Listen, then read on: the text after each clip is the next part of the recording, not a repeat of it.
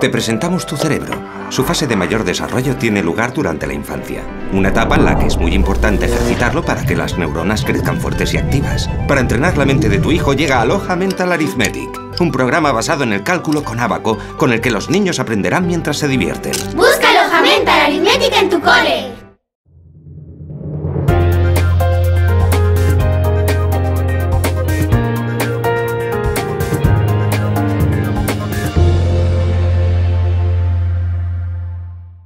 El doctor José Antonio Sánchez Alcalaíno, profesor de Medicina Legal y Forense, ha presentado el libro que ha escrito junto con su compañero Enrique Dorado, Lo que cuentan los muertos. La obra explica con rigor, pero de forma amena, la profesión forense, deteniéndose en casos como el de la identificación de los restos de Cervantes y Quevedo, el accidente aéreo de Hispaner o el caso Bretón, por citar algunos.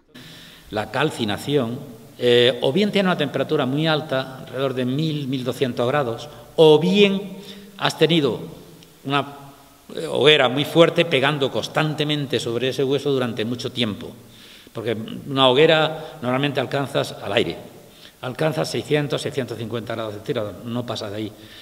Eh, aunque Bretón había puesto la mesa, también, con lo que hizo también un efecto de, potenciador de la temperatura. Pero bueno, eh, los huesos así, ¿estos huesos son reconocibles? Para los que no se dediquen a esto sí, pero los que no, los que nos dedicamos a, este trabajo, a mí veo los huesos y digo, sí, efectivamente, son todos huesos humanos. Ese fue el problema que hubo en el caso Bertón, que cuando aparecen, bueno, después de un año que aparecen los huesos y llegan y el perito o la perito dice que no son huesos humanos, que son huesos animales un año más, gastando dinero, buscando, etcétera y demás, y al final, a través de Paco Echeverría, un compañero mío, que fue el que vio la fotografía y demás, se dio cuenta de que son huesos, son huesos humanos, son además huesos de niño. Todos fuimos concluyentes. Hay huesos de dos niños y bueno, pues nada, la testigo, la perito que inicial tuvo que decirse lo que había dicho, etcétera, etcétera. Con esto quiero decir que todos nos podemos equivocar pero hay una cosa que está por encima de todo, la prudencia, por Dios. Si yo llego y veo unos huesos y no sé si son humanos, si son animales, y conozco a un montón de gente que sí lo sabe, pues llamo a ese montón de gente. O le mando primero las fotos, que por fotos también se ven. Que no, ¿Eh? ¿Qué os parece? Tengo dudas. si no lo quiere hacer así, puede ocurrir lo que ha ocurrido.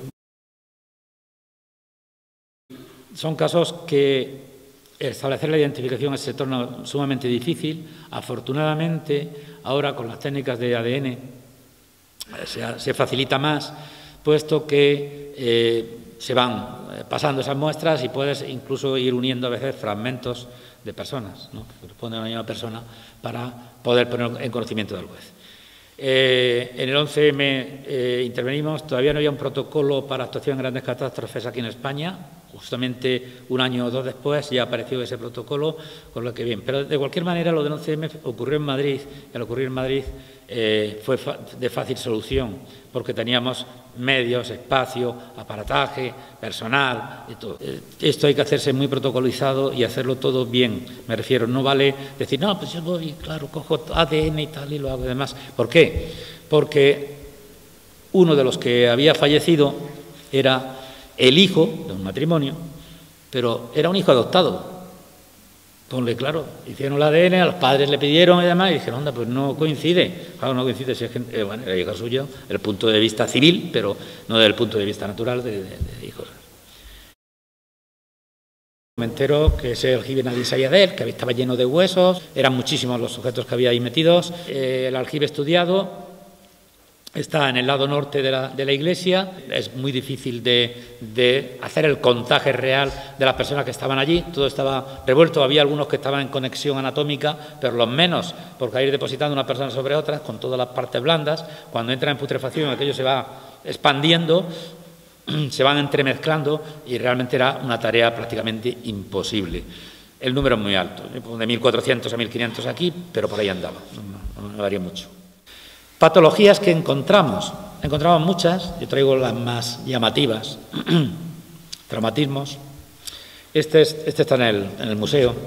¿eh? Es los dos fémures, los dos a la misma altura, con un callo, de, un callo de fractura de evolución natural, ahí no intervino ningún médico, y que al estar a la misma altura, especulamos qué podría haber sido, qué elemento, ¿no? el que provocara esa fractura.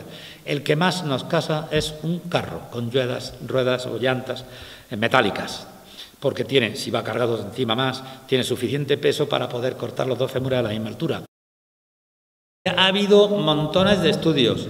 Algunos dicen o decían que era por un déficit de litio en las aguas. El litio es un antidepresivo, como sabéis, y que era ese déficit de litio el que influía. Otros comentaban que era el elevado eh, índice de cruces entre la población que hacía que mm, ninguna de ellas es totalmente satisfactoria, porque las aguas ahora son aguas como las de que, bebemos, que se beben en cualquier otra parte, no, hay, no, se ha encontrado una explicación. Ahora, que es cierto, sí, ¿eh? estudios que hay en cuanto a estudios descriptivos, estadísticos del índice de suicidios es muy elevado.